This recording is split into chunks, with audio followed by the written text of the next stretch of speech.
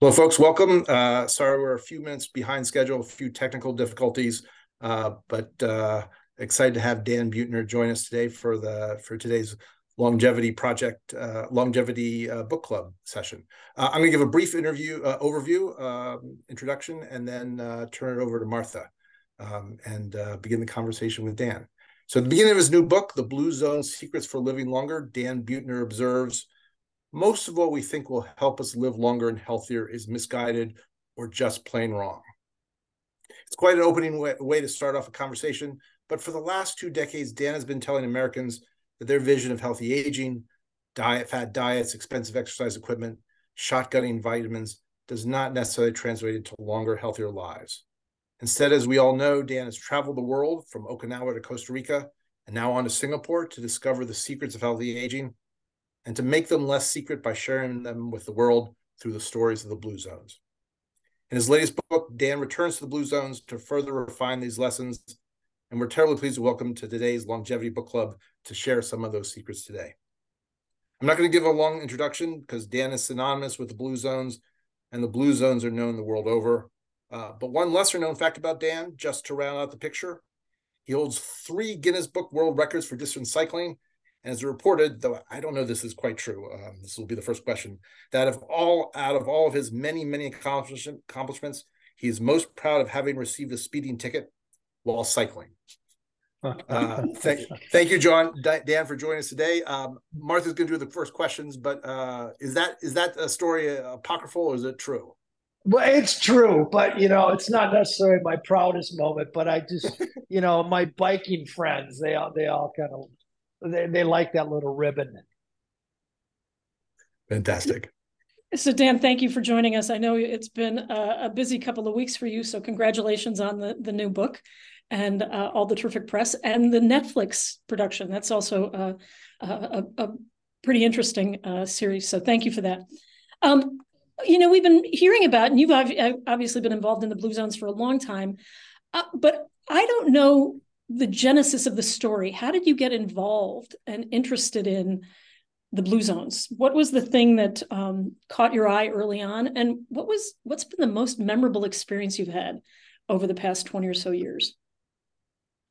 Well, I've been a, a, a lifelong explorer. I, am National Geographic explorer, and uh, actually, for about six years, I had a company.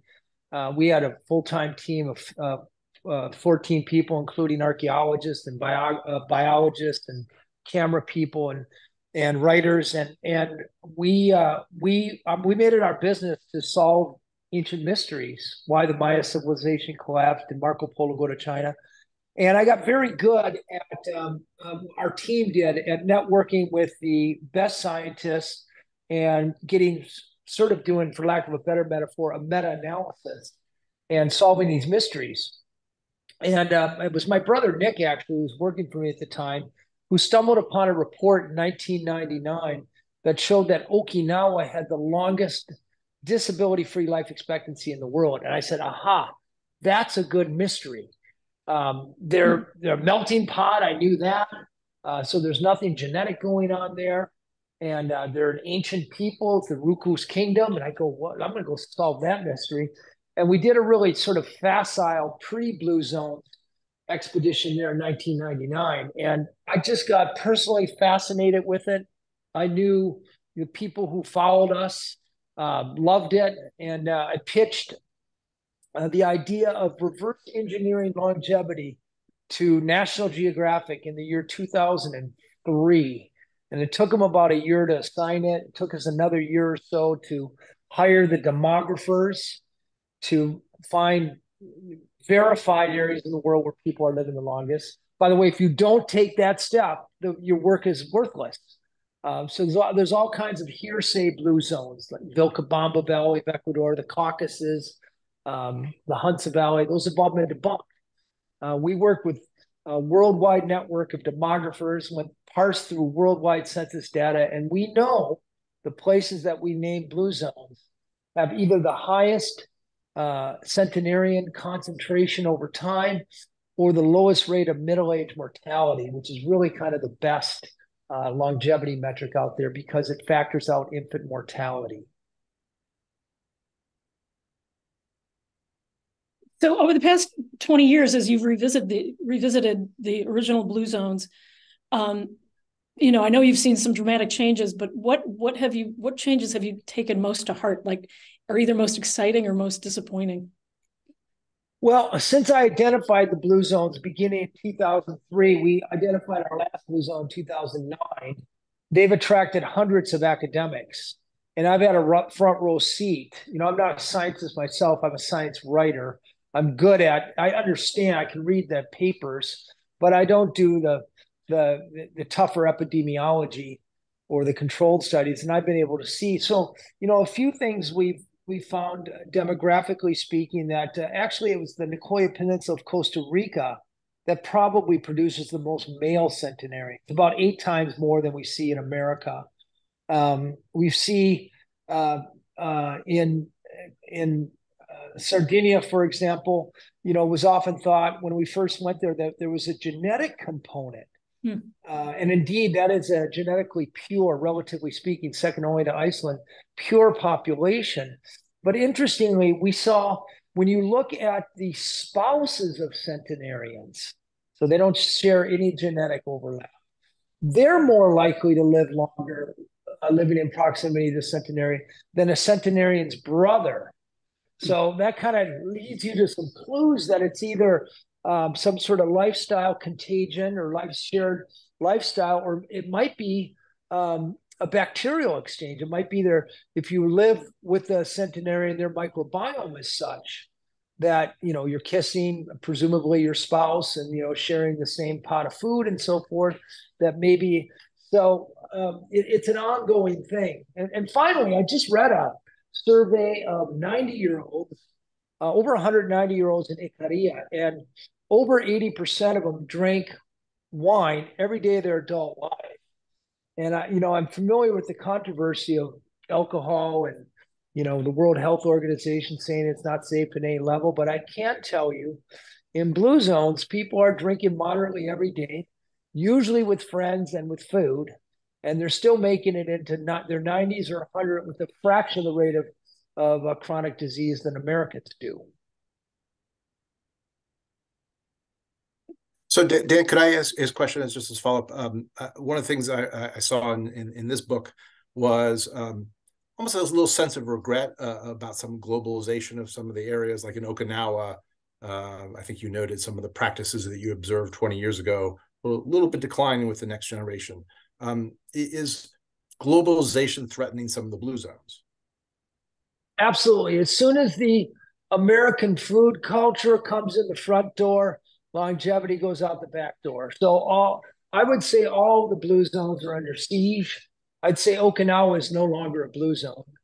I mean, if they, their their numbers don't make blue zone standards, I mean, there you can still go there and find and see the lifestyle, uh, blue zone lifestyle still survives in some of the small villages, but it's not a healthy place to live as a whole island anymore, whole archipelago. Uh, Costa Rica, uh, the Nicoya, it breaks my heart. I mean, the, one of the greatest examples of longevity in the world. And now they're letting Burger King and McDonald's and KFC and chips. And, you know, and this, this, make no mistake about it, the standard American diet for an average 20 year old shaves about 10 years off your life expectancy as a, as compared to eating say a blue zone whole food whole plant-based food diet. And uh, it you know it's just terrible that they've adopted the worst that america has to offer and their diabetes rates rates are shooting upward their obesity rates are shooting upward and we'll lose uh, the longevity phenomenon probably a half a generation. Um, so dan a, a, question already from the audience. Um, uh, how much of the benefit of alcohol do you think is due to the social factors versus what is in the alcohol? You know, it's to use a metaphor, it's quite literally a cocktail, right? I mean, it's you know, we know alcohol lowers uh, cortisol. Um, we know that there's certain antioxidants in red wine that uh, that reduce inflammation of the endothelial, the lining of the arteries. Um, we know a glass of wine with a plant-based meal about quadruples the, the flavonoid absorption. And we know it tends to um, grease social gears and bring people together. humans have been drinking wine for at least 6,000 years. You know, Jesus was said to make wine for his weddings and so forth. Um, you know, I, I just have a hard time with with uh, uh, these latest sort of trendy proclamations saying that we, that's part of our life we can't enjoy. I think I, I, wouldn't I wouldn't suggest anybody start drinking if you and if you have problems with it, obviously don't restart. But um, it, I, will just tell you, it's not mutually exclusive with living a long, healthy life, and we don't know exactly why. Well, I think that's true with a lot of these things that there are, there are few absolutes, uh, and we we tend to make thing, these uh, discussions about you know it's either all or nothing. So uh, I yeah. Sort of by by the way, you know, oxygen uh, is is an oxidant. You know, it's that's corrosive for us, and breathing pure oxygen is bad for us. Sunlight, too much sunlight is bad for you. So you know, it's it's it's a dose dependent um, and and situational uh, dependent um, um, indulgence, I guess. So Dan, I, I, you said it's disappointing to see some of these naturally occurring blue zones sort of falling, uh, you know, falling from favor as they they as they sort of see globalization impact them. But there's also a movement around man-made blue zones. How successful are and you talked about a couple of them in the book. Um, how successful are these sort of programs that put into place programs and activities that promote kind of blue zone lifestyles? Yes. Well, enormously successful because they prove it can be done. I mean, so so many of us just throw up our arms. You know, obesity has been climbing; it's tripled since 1980. Di- type two diabetes and pre-diabetes up by a factor of seven since 1980. Life expectancies dropped every year for the last three years, and people just say we give up. Uh, what our Blue Zones projects have done is show that you can reverse that curve. We've been successful in many communities at lowering BMI population level. And it, it's not a program. It, when you distill the wisdom of blue zones, it, it distills down to this. People in blue zones, they're not more disciplined. They don't have better individual responsibility. They don't have better diet plans. They don't have better supplements or exercise programs. Uh, they don't pursue health at all in the way we pursue health, almost maniacally. Uh, health and longevity ensue from the right environment. They live in places where every time they go to work or a friend's house or out to eat, occasions a walk. The, the cheapest, most accessible, and most delicious foods are peasant foods whole grains, tubers, garden vegetables, greens, nuts, beans. If you're eating a quarter cup of beans a day, it's probably worth four years of life expectancy the option to to recede into your home or your handheld device hasn't hit yet. Um, hmm. so they're out in the streets socializing face to face. They have vocabulary for purpose, and they understand the, the, their, their word for purpose also metabolizes a service element. So they're out. Um, uh, uh, put they, they feel a meaning in their life by um, serving their community in one way or another. Mm-hmm. Uh, so, the, so these are the things that work when it comes to the blue zone, and, and they're long lasting things. And when we come into blue zone cities, we come in not trying to, you know, like Fort Worth was one of our our favorite blue zone cities. A million people or so, we didn't come in trying to convince a bunch of beef eaters to start eating beans. Uh, we came in and we had uh, policy bundles for food built that favored the healthy option over the the uh, junkie option and uh, for built environment that favored the pedestrian, the cyclist over the motorist, and tobacco that favored the non-smoker over the smoker. And we didn't come in and tell Texans what they have to do. It's a good way to you know be shown the door, but rather we went through a consensus process. We say here's our menus, policy menus that have worked elsewhere. Let's look at each one for number one effectiveness would it work in Fort Worth? And number two, feasibility. Is there a political will to get this done in five years? And amazingly, in each of those three areas, we found five or six policies we could actually get passed. Our teams went into every restaurant, grocery store, workplace, school, and church. And we offered Blue Zone certification for places that were willing to to um, rethink their designs and their policy to favor healthier eating, mindless moving, uh, social social connectiveness, and purpose. And then, you know, we have 30 or so ways that these places could do that. Ones that got uh, 60% or so, we gave Blue Zone certification. And then we had a program for individuals to help them shape their homes and their social circles and give them a purpose workshop and volunteer. So when you when you take people, places, and policy, all three of those, uh, focusing on trying to optimize people's environment, so set them up for success, make their unconscious choices a little bit healthier all day long. And Gallup measured it on the front end, they measured it on the back end, and we have never failed at making a community healthier. That's powerful. It, we proved it can work. So there's a question just came in. Um, a lot of interesting questions coming in. I'll encourage people to keep putting questions in the Q and A and chat. But um, one question was, um, are there any blue zones in Africa? Um, and perhaps they don't meet the uh, statistical uh, life expectancy measure, but I'm curious about whether there are places there that outperform other parts of the continent that uh, you think is worthy of note. Well, you know, I actually bike from the top of Africa to the bottom of Africa, and I know it very intimately. And there are a lot of blue zone habits. You know, the, most of Africa people are still walking and growing their own gardens and connected, you know, tribally for sure. In many cases, the problem, the reason there's no blue zones by our calculation is because of infectious disease. Uh, people are dying prematurely from cholera and, and uh, and and malaria and dysentery and, and you know even diarrhea. So the the blue zones that I need, they, they not only benefit from modern public health. You know, the reason we're living so long mainly is because in the last century we've eliminated uh, the the mortality rates from infectious diseases, and that's because of vaccinations and antibiotics. You know, our great grandfathers, if they stepped on a nail, they got an infection, it was death. You know, now, now we have antibiotics. Um, blue zones have the benefit of modern health, uh, public health. They also, by the way, uh, except for the American blue zone, they have free access to health care, so universal health care.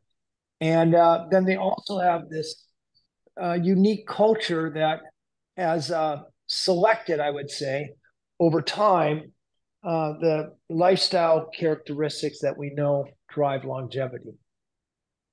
So, an interesting follow-on to that from uh, from the audience: um, How did COVID affect the blue zones? Not as bad. Far lower rates of COVID mortality for two reasons. The first reason is uh, most of the people dying from COVID had comorbidities. And you have the reason blue zones are blue is that they have much lower rates of chronic disease and therefore less mortality from getting a COVID infection. The other thing is um, they don't warehouse their old in retirement homes, which were just COVID mortality pits. Uh, mm. At least up up where I live in Minnesota, you know, they, it was a death sentence to be in a, a retirement home. Here they stay in the family where they got really good care, uh, less likely to be exposed to you know other older people who might have the disease that could you know spread like wildfire through the through the residents. That actually relates to another question we have in. Um, uh, what can we learn from blue zones on how to deal with caregiving? Um, I mean, do they have all the multiple generations living with each other, value elders, provide collective support for each generation, uh, and the like? Is there a is there a thread of care that runs through the blue zones that uh, we should? Yes, and it's nuanced. So the first and best resource is to keep our aging parents nearby. Um, and I ideally, there's something called the grandmother effect that shows a household with a grandmother or a grandfather, their kids have lower rates of mortality. They tend to do better in school. But we're a little misguided when it comes to care. You know, we we want to put our aging parents in the nicest uh, retirement home with the best uh, TVs and uh, the garden. Uh, but what happens is when people lose their sense of purpose, we know they die quickly.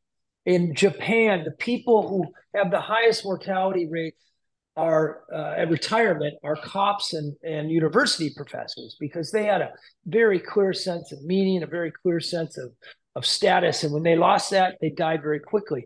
I think that happens at a lesser event when we take away uh, the meaningful and the opportunity for older people to contribute, not just care. Uh, but in blue zones, grandma lives at home, but she's not just a recipient of care she's uh, in charge of cooking. She maintains the food tradition. She's out maintaining the garden. When mom's running off to work, she's taking care of the grandkids. Um, the grandfathers, you know, in my Netflix documentary, we have a grandfather who's living at home and helping teach his kids math. And they're the ones in other blue zones that typically know the agricultural wisdom of when to plant and when to sow and uh, when to when to harvest and, and how to make the wine. So this is repository of wisdom and talent and resiliency that the blue zones they harness for the good of everybody. But it also turns out to be the good of the older person themselves because they have a reason to get up in the morning, to take their medicines, to stay active, to keep their brain engaged, and to feel like they're useful. Um, so what is what is the role so totally buy buy into meaning and purpose is really you know continually proving to be kind of central to sort of healthy longevity uh, where does lifelong learning fit into this it's something we talk about a lot at the center on longevity well you're right I mean, so we know that people who I, you know, I mean, when I wrote my article for National Geographic, the National Institutes on Aging was really helpful. So I was privy to the research they're doing in America. You know, the more education is is uh, associated with higher life expectancy. So people who get into their graduate degrees are living considerably longer than people who just have high school. So you could extrapolate that lifelong learning is going to be good for all of us. Um, but you know, in in um, in several blue zones, I noticed that um, there were about 20 times more poets among male centenarians than you would expect to see in a normal population in um, in uh, in say America or even Italy, and and that suggests they're using their mind in in ways. Um, the older women, there's always a craft that uh, keeps their brains engaged, a, a, a knitting or a, a, sort of a crochet pottery making. You know, it's not like they're they're toddling off to classes, but they're always learning, mm-hmm. and they're they're keeping their brains engaged. And in, in the blue zone communities, um, do you see? I mean, we're also advocates about the importance of intergenerational connections, both familial and uh, sort of extended family or community. Do you see those kinds of connections happening and important in blue zone uh, communities? Right. Well, as I just mentioned about keeping aging parents living with you, that's that's um, I mean that's way more intergenerational than what we do. But yes, in villages, um, for example, in Ik- Ikaria, they have this wonderful practice called a panegyri. And they, there's 90 villages in Ikaria, and between May and October, each one of these villages has a huge party. And the party usually begins at 10 at night and goes till 8 or 9 the next morning. And they're drinking wine and locking arms and twirling and dancing at 3 in the morning, eating goat liver and drinking some more. And this is not just a bunch of 20 year olds. You have 80, 90, even 100 year olds showing up. They, everybody shows up. It provides an opportunity for the community to coalesce, to get physical activity, to blow off some stress.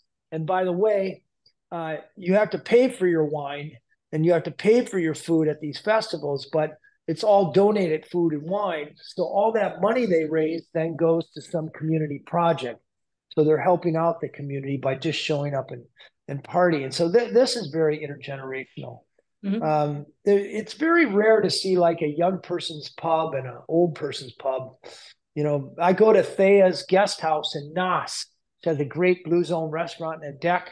And you see kids running out there. You see, you know, 40 year old communist bitching about the state of capitalism. And you'll see some tourists from Israel who've come to look at a blue zone. And you'll see some 80, 90 year olds getting together over a glass of wine. Uh, that's where you want to be, I think. So, so Dan, um, you added a new blue zone in your latest book. Um, uh, I won't spoil it for the audience yet. I'll let you do that. I'll let you tell about it. Uh, but it's a very different one from the uh, places you have typically covered over the last 15 years. Um, how uh, tell us about sort of finding a new blue zone um, and how you thought about it as a very different type of community than the places you've typically written about. So I've lamented seeing the original blue zone deteriorate with the American food culture and globalization. So I, I got to thinking, I wonder if you could manufacture a blue zone. And uh, for National Geographic, I did a cover story on on uh, worldwide happiness, a data back story back in 2018, which occasioned a visit to Singapore. And um, along the way, I noticed this: they had the highest uh, health adjusted life expectancy in the world. It goes by the acronym HALE, H A L E. So that's uh, years of life, years lived in full health. And they live about a dozen years longer than us. And I also knew that Singapore is a new, brand new, invented nation. And, and when I was a kid, Singapore was a fishing village. And now it's five and a half million people, one of the most uh, successful economies in the history of humankind a melting pot of Chinese, Indian, and Malay people, very diverse, that produces 12 more good years of health in America. So uh, I, I, I named it a, a Blue Zone 2.0 because they've they've they've engineered health, and they've done it in ways that American policymakers ought to be paying attention to. And what are the things about uh, Singapore um, and maybe other similar uh, large, complicated cities that do well, like Hong Kong or well, um, for, for, what do they, what do they do that makes it special? Well, first of all, they have a they have an eye on you know economic development, but they put the health and well-being of their people in front of business interests. So over in Singapore, you don't have a bunch of lobbyists from the soda industry and the uh, chip industry and the Cattlemen's Association with an army of, of powerful lobbyists influencing lawmakers. The, uh, instead, you their their um, um, ministers are well paid, um, Ivy League educated um, uh, people who are data driven. So they, for example, knew that the the, the um, country would quickly be overwhelmed with traffic back in the 80s, and they uh, they started subsidizing public transportation and walkability, uh, nice sidewalks, trees, covered walkways, beautiful gardens, beautiful parks. Um, they subsidize public transportation, a, a fast, efficient, clean, safe, that's accessible to everyone. Meanwhile, if you want to drive, uh, car costs about triple what it does in the United States. Gas is two or three times more. Uh, you're you're levying huge levies if you want to drive your car everywhere. So what you get is about 90% of the population who is walking to work, walking to their friend's house, walking out to out to eat, and they're getting that that unconscious physical activity. They have a fraction of the rate of obesity we do in the United States, not because they have better gyms or better, you know, CrossFit or yoga classes. Uh, it's just they walk places.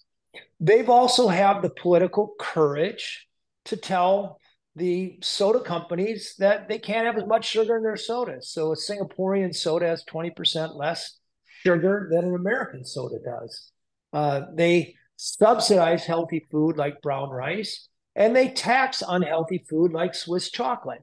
Um, so, um, and you know, when you're talking about intergenerational, uh, people actually get a, a, an incentive uh, by having their aging parent living with them. The government actually gives them money if their aging parent lives near them or with them or even near them.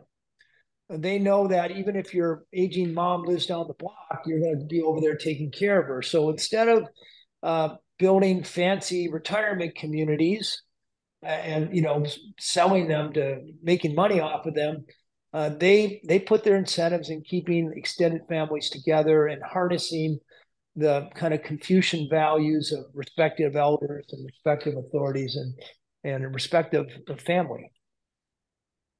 Uh, so Dan, you you live in Miami now, right? Yes. So there was a question about uh, can you discuss the world's first Blue Zone Center in Miami with Adventist Health? And then I'd also like to ask, you know, what have you, you know, what was your what was your decision to move to Miami?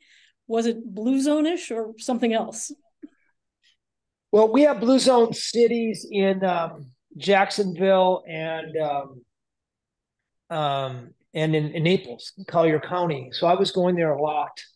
And um, you know, I I used to live in Minnesota. It gets really cold here, and I like warm weather. So I, you know, I looked at every place and ended up in Miami. Uh, the Blue Zone Center in Miami, I don't have anything to do with it.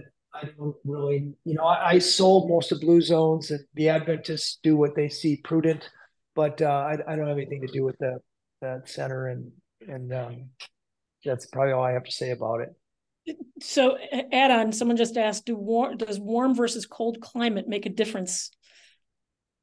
Well, so this is a very interesting observation. I saw I saw a centenarian heat map of Japan, which is about a thousand miles long, and you see that the way up in the north, where people there's only one growing season, they tend to pickle their food, eat more meat and pork and so forth.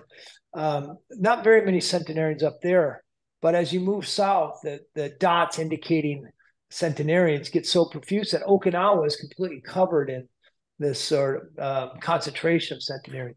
I think the sweet spot is about the 20th parallel north. So about, you know, where you guys are actually in, in Palo Alto or or Florida. Um, you know, and that that equates to uh, southern Italy and southern Greece, and um, and the reason is in tropics uh, you tend to have infectious diseases dragging life expectancy down, and in the north uh, people are in, indoors too much and they tend to eat canned and pickled food. Uh, the sweet spot, I think, is where you can have a couple growing seasons or three growing seasons a year. So Dan, I'm, uh, there are a lot of questions uh, um, that start with something about um, angry at sort of what's happened in the United States and wondering whether there's a way out um, in terms of improving improving health in the U.S. I'm curious what you think of sort of the priorities are for a, a big, complicated, diverse, uh, and sometimes angry country like the U.S. in terms of uh, public health. Um, yeah. So well, it's consensus. You know, we we I think if the federal government uh, had a uh, brought together the best thinkers in America who knew how to optimize design our cities for health, and um, and then listen to what would be um, effect, what they believe is effective and what they believe is feasible, we would find a lot of low hanging fruit. And we don't realize this, but uh, cities that are walkable have much higher economic vitality than than than the than uh, the cities that are crisscrossed with traffic, and, and we get it all wrong when we induce demand by building wider. Um, you know, our, our the, the problem there's no villain. We like to we like to point to the villain. Those food companies are bad, or the cattle industry is bad, or processed food they're bad. It's not until 1970, there weren't enough calories to go around in America. Yeah, it was a right. cold Cold War issue, and um, you know Earl Butz, Nixon's uh, Secretary of Agriculture.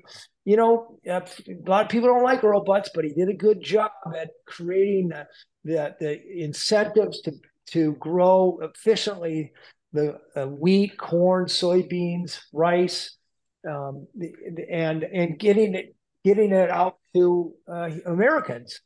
And that's what, and then the, the food companies, they do what food companies are supposed to do. They take these, these plentiful inputs and they feed it to animals and, and, and they make chips out of it. And they make processed foods and cereals and that. And for a while, when that was just a small percentage of our dietary intake, it wasn't so bad. But now we've gotten too good at it. We've gotten too good at making these these empty calories taste irresistible. Madison Avenue's gotten too good at marketing them to us and getting into our brains and relentlessly trying to sell us these things, and we've just over innovated. And now the opportunity, and by the way, there's a there's a mountain of money, 4.4 trillion dollars we're shoveling at the problem right now. That if we could just divert a quarter of that to keeping people healthy in the first place, um, we could we could make a huge difference. And I do think the farm bill should be revisited. And uh, you know, we we over subsidize these inputs for junk food, chips, sodas, um, you know, cattle feedlot feed. Uh, it's just not good for us. If we started uh, shifting some of those subsidies for foods we know are good for us, beans, by the way, learning how to make beans taste delicious, whole grains, you know, fresh produce. Everybody loves fresh produce, but it's so expensive. Well, that's the result of our agriculture system. We incent the, the wrong things, in my opinion. So, Dan, you know, um, since we there's a sort of growing evidence that we know the right things to do with our diet, with exercise, with social engagement, um, why aren't more people just doing it? Well, I think we're marketed the wrong thing. So diets is a good idea. It's a good. I think we have most of the people listening right now know we ought to be eating more vegetables and more whole grains and beans and so forth and less meat and processed food. But we live in a food environment where 95 of the 100 choices we confront are unhealthy. And um, you know, we we keep beating this dead horse. And Usually at New Year's uh, resolution, where you get on a new diet, try to change your behavior, and we fail by January 19th. Um, it's not to we're we're aiming at the wrong target. Uh, we're trying to change behavior, and that fails for almost all the people, almost all the time. Whereas we need to shift to change our environment my books, um, a little bit in this book that you guys have, but also I wrote a book called The Blue Zone Challenge, which offers evidence based ways to set up your kitchen, your social circle, your workplace, your commute, your bedroom, so that the healthier choice is unconscious. Mm-hmm. I got nothing to sell you. You know, I, I'm not nearly as rich as I could be because I don't have a supplement or I don't have a quick blue zone quick superfood. I hate that. There's no superfood out there. Um, instead, it's it's shifting the paradigm. Same with exercise. I hate to say it, but exercise is an unmitigated public health failure. 23% of Americans get the minimum uh, uh, 20 minutes a day of movement. It ain't working. Yet we keep, uh, we got to exercise. No, no, we need to change our environment so people are nudged into movement every 20 minutes like Blue Zone. We need walkable communities. Um, we need to get the mechanical conveniences out of our house. So we're just still doing housework and kitchen work by hand, and, you know, putting in gardens. Uh, that's what works. We don't need a lot of exercise. We just need it throughout the day. Low intensity physical activity. Nobody in blue zones are in CrossFit. None of them are in the cover of Triathlon magazine, but they're all making it to 100. And what do they do? They grow radishes. They walk to their friend's house. That's it. So this suggestion in a chat that you start a Blue Zones restaurant. I guess that's not in the offing. well, we certify restaurants. There's a number of restaurants in Miami. There's a place called there's one in Culver City called Love Life. Uh, that's very Blue Zone. And um, the the the restaurants that make whole plant based food delicious, man, I'll put Blue Zones all over that all day long. I don't want to be a restaurateur, but I love reward. I love recognizing uh, food environments that make it easy to eat the right way. So, Dan, you mentioned uh, a moment ago advice on how to set up your social circles. Uh, here in the U.S., the Surgeon General has declared a loneliness crisis, uh, but the blue zone communities are often very closely knit. So, what what's the advice to people on this uh, on the Zoom um, about how to improve their social capital and social connections?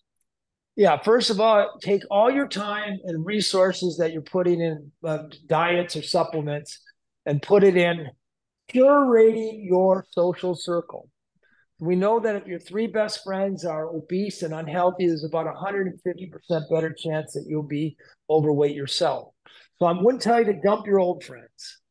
But I would tell you to proactively adding a few good friends Um, and they should be friends whose idea of recreation is pickleball. Friends who challenge you mentally. They play chess with you. Friends who care about you on a bad day. And it's not a bad idea to have a vegan or vegetarian in your immediate social network because they're going to show you where and how to eat health, delicious plant-based food. But take you, you know, it, and I understand, by the way, you know, we're middle age or so. Uh, making new friends isn't easy, but it's not as hard as you think. Easy way to do it: start volunteering. Volunteer at a place you like animals. Go down to the Humane Society. You're going to meet other animal lovers with whom you share values. Uh, you like to feed old people, you know, the uh, food shelves, whatever it is. Volunteering is a good way to meet new people. And then I do. I've actually done this in my own life. I go through my contacts and I look for people who I know are healthy, are going to be good influence, and I proactively ask them out for lunch. I have a place called in Minneapolis called Dow Foods. Uh, it, you can't you can't get an unhealthy meal there. I schedule two lunches every single week with friends that I want to bring into my immediate social circle uh, because I know they would enrich me. So, and I pick up lunch. I pay for lunch. You know, instead of uh, the other fatty things, F A D D Y, fatty things, um, uh, making good friends. Why? Friends have measurable impact on our behavior, number one. And number two, when it comes to longevity, there's no short term fix. There's nothing you can do this week or this month or even this year that's going to make you live better 40 years from now. You have to think about things that last years or decades or a lifetime and picking the right friend.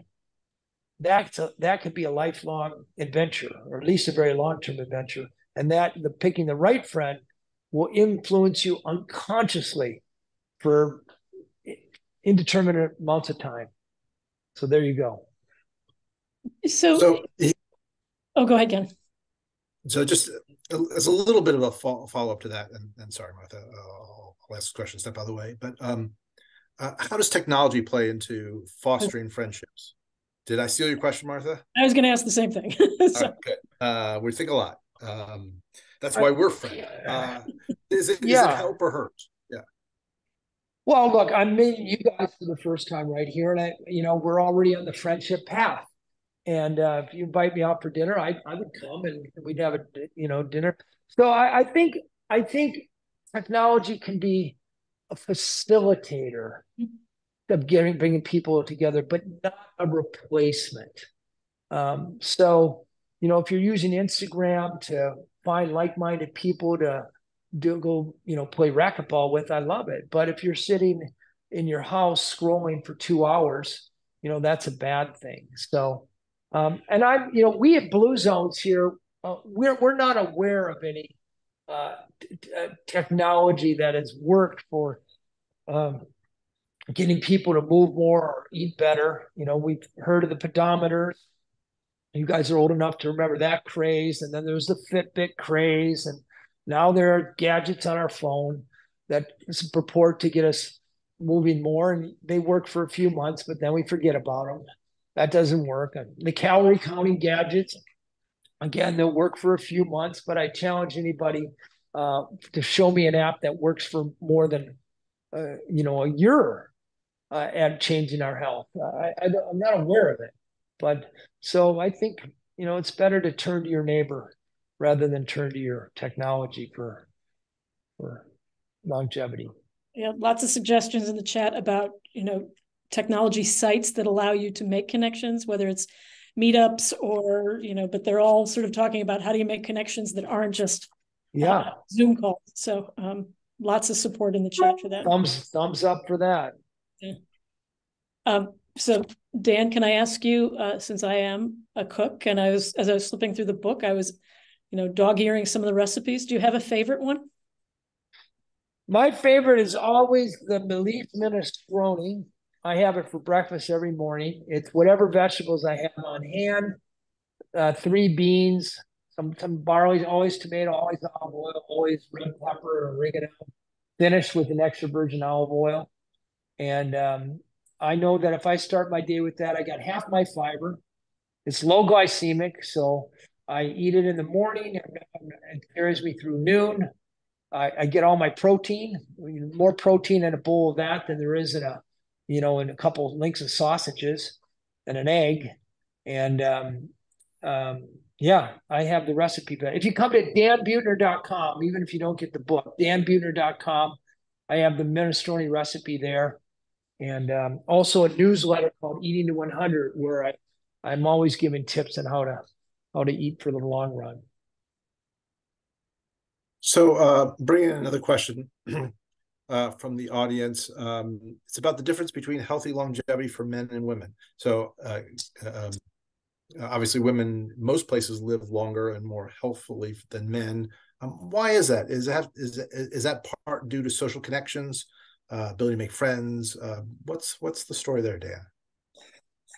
Well, interestingly, in America, for every one male centenarian, there are five female centenarians. Yeah, but amazing. in our blue, yeah. in our blue zones, the proportion is one to one. In Hmm. in Nicoya, in Okinawa, and in uh, not in Okinawa, I'm sorry, in Ikaria, Sardinia, and Costa Rica, the proportion is one to one. So it might not have to be that that women live longer, um, but uh, in general, I think women are better at social connection. You know, the, you guys out there, you know, it's a little harder for us to be socially connected. Um, women tend to be uh, the CEO of the household, so they have more control over the uh, food, and I, I, think that control um, uh, drives them to uh, work a little harder to find the healthy choices. I know the demographic of Blue Zone, we're about eighty-three or eighty-four percent, you know, women. So the women are obviously more interested in health, least by my reckoning, and. Mm. Um, you know, it, it, might be a hormonal thing. I mean, testosterone, we all know about testosterone poisoning in uh, our adolescent years where the mortality of young men spike. But, you know, maybe testosterone um, increases our chances of certain types of cancer. We don't know for sure, but I don't think it has to be. I think men and women have equal capacity of making it to 100. So, Dan, what's next on your agenda with regards to Blue Zones? Well, I'm pretty happy with this Blue Zone, uh, this uh, Living to 100 documentary. It was number one this week. I think it might be down to number two. So, you know, I've, I've written books for years and nothing has nearly been as impactful as this Netflix. So maybe try to do another Netflix series. Um, you know, I, I, have a I have a similar body of work around happiness, and I'm really interested in this notion of healthy life expectancy, which is different than blue zones. And then uh, I teamed up with uh, the CEO of Vital Farms and the CEO of Whole Foods, and we created a line of whole food plant based food called Blue Zone Kitchen, with a maniacal focus on deliciousness. And they'll be in uh, Whole Foods. Every Whole Foods uh, store in America will have our frozen food, uh, no added, you know, unprocessed, no added sugars. The healthiest food you'll find, and uh, I challenge you, it's uh, it's the most delicious thing in the freezer section, and and that's kind of a new new horizon for me. When will that be available to people? Well, if you live in Seattle at Town and Country stores, it's available this week but it'll be in in Whole Foods in November. All right. All right. Well, we've been challenged on that uh, and looking forward to um, if you don't like uh, it, call me. I'll give you a dollar back. okay. All right. There you go. Uh, money back guaranteed from Dan Buettner. Uh, fantastic. So, Dan, my, my last question um, uh, focusing on the U.S. Um, I mean, we, we know about Loma Linda. You've written about that um, uh, extensively. Are there other places around the U.S. that you see if they've gotten to the blue zones, or at least moving in the right directions? Are there success stories we should all uh, in, in, in, the in, in a world in a country with so many problems? Are there any success stories that you're excited about? Well, all of our 72 blue zone project cities, uh, uh, Scottsdale, Phoenix, and Scottsdale, Arizona are just coming in. Jacksonville, Florida. Um, I, you know, natural blue zones. Um, Santa Barbara, California, they have a enlightened city council that that uh, made that place very walkable and favored. Uh, you know, one of the great pastimes of the weekend is going down to a year-long farmers market Uh, that San Luis Obispo, the same thing. I, I, did a cover story for National Geographic on Boulder, Colorado, and uh, Enlightened City Council there makes it easier to bike across town than it is to drive across town. They have illegalized billboards. You know, if you live in a neighborhood with billboard advertising, you're about 10% more likely to be obese, uh, probably just because of the prompt to eat the junk food they market. Uh, they, this city has made the decision, well, we don't need billboards. And guess what? Nobody misses it. And it it uh, it fosters into a more aesthetic and healthier environment. They've bought, they've purchased the land around downtown and created a green belt so people living and working downtown, within a few minutes, they can be walking in nature. Um, these are great models that have produced manifestly healthier, happier people. That you know, any mayor worth his or her salt ought to be paying attention and say, we want to replicate that in our city instead of being swayed by um, you know business interests who you know have their business interests in mind instead of the well-being of the people. So um, we're close to the top of the hour, but Dan, I have I have one question. Given how much press you've been doing recently, um, what's the one question no one has asked you yet? Ha That's a very good one. um, so nobody. Um, wow, that's a okay. Well, nobody has asked me what my favorite bean is. I I I am the self-appointed king of beans. I think America the secret to American longevity is eating more beans, making it taste. And my favorite beans are garbanzo beans because oh. you can make hummus out of them and you can just cook them and add a little bit of olive oil, salt, and pepper. They're delicious. I put them in soups. I roast them to, as a snack. They're cheap. They're versatile. Um, garbanzo beans is the way to go. Canned or dried? so. I look, I but you know, I'm not a big fan of cans because the world doesn't need another can. um, it's dried beans are so easy. You just the night before you throw them in water. It takes 20 seconds, and then with an instant pot, you throw them in an instant pot and hit hit a button, and 20 minutes later they're ready. And they're cheaper that way. They taste better. You can get them al dente, so it has that kind of meaty uh, finish to them. And and uh, I just yeah, beans i can't i can't say enough about them and by the way I, am not sponsored by the bean industry this is 100% dan buettner I, I know how to make beans sing on the way in not on the way out all right that's uh, that is a great way to end this conversation uh, dan buettner not sponsored by the bean industry by big bean uh, there are uh, kate has been posting places you can find out more about dan at uh, bluezones.com and danbuettner.com tons of information both places. Thank you, Dan, for this wonderful conversation. Uh, and everyone, just a reminder, you can get Dan's new book, The Blue Zones, Secrets for Living Longer, Lessons from the Healthiest Place on Earth. And let's get uh, Live Live to 100, Secrets of the Blue Zones, back to number one on, on Netflix. Um, ah, I love you guys. Thank you. Thank you for that, Dan. Thank you and very further, much. As a further reminder, our next longevity book club event will be October 1st at 4 p.m. Eastern. And we'll be talking with Noreena Hertz about her book, the Lonely Century, A Call to Reconnect. Hope to see everyone there. Thank you, Martha. Thank you, Dan. Thank you all.